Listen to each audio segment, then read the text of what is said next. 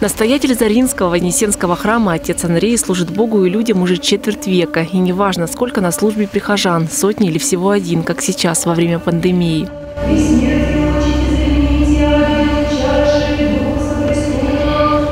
Говорит, сама судьба привела его к Богу, хотя изначально на пути у отца Андрея было несколько дорог. Крестился подростком, затем армия, Черноморский флот. Думал, станет военным, пока не увидел вещи сон. Приснился священник, который благословил меня и сказал, иди на службу в церковь. Я вот пришел с того дня на сегодня вот в церкви пребываю. Только однажды отцу Андрею пришлось покинуть приход. В 2006 году его командировали в Чечню. Он нес свою службу в палаточной церкви, окроплял святой водой солдат, молился за них. Как молится о своих детях, он думал, что сыновья пойдут по его стопам, но каждый из них выбрал свою дорогу. Ну, у меня духовник есть, который живет на Святой горе Афона. Я с ним связался. Он сказал, что если Богу угодно, чтобы они были священнослужителями, то они ими будут. А если не угодно, то не нужно их тянуть э, вот за шиворот в священники. Ну, так я и поступил. Младший сын отца Андрея сейчас проходит комиссию, чтобы продолжить службу в армии. Старший теперь работает на производстве. Покров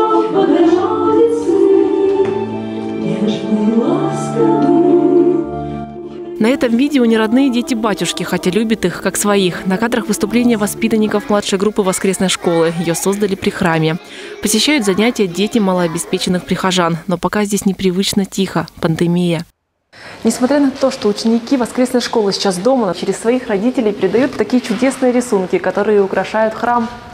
Именно храму, его процветанию батюшка посвятил большую часть своей жизни. Каждый день на протяжении 17 лет он делал все, чтобы рядом с единственным крестильным храмом появился большой церковный комплекс – островок со своей атмосферой.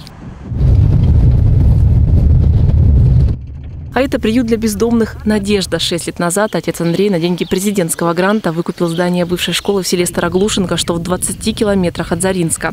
Это, к слову, единственный церковный приют в Алтайском крае. Священник здесь бывает постоянно и даже сейчас в период пандемии. Маски давали, антисептики. А что вы их не носите? Почему? Здесь? Вообще в приюте. Здесь ну, никто не ходит самом деле здесь живут как дома, а дома, как известно, маски надевают только если кто-то болен. Сегодня у обитателей приюта «Надежда» обычный день. Кто-то собирает папоротник, кто-то следит за скотиной, кто-то работает в огороде. К слову, постояльцы выращивают овощи не только для себя, но и для трапезной Вознесенской церкви. Здесь я научился работать многому. Здесь коллектив хороший. Все живем дружно, как бы. нашел общий язык. Тут церковь есть. Хотели бы вернуться, может, в Заринск устроиться куда-то или пока нет? Я по своему образу думаю, что мне не стоит пока туда.